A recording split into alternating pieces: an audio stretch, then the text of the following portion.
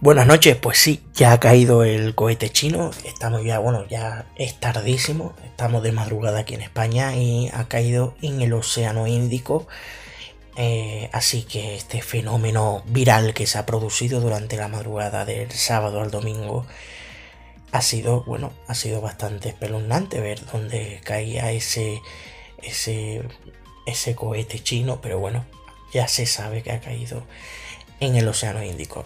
Estamos viendo también, estas son imágenes que nos llegan desde México, porque ha dado la vuelta al mundo varias veces este cohete a una velocidad impresionante. Al final ha caído en el Océano Índico y bueno, al final no ha sido nada, ha sido una cosa muy breve. En esta parte, muy cerquita de lo que es Sri Lanka y la India.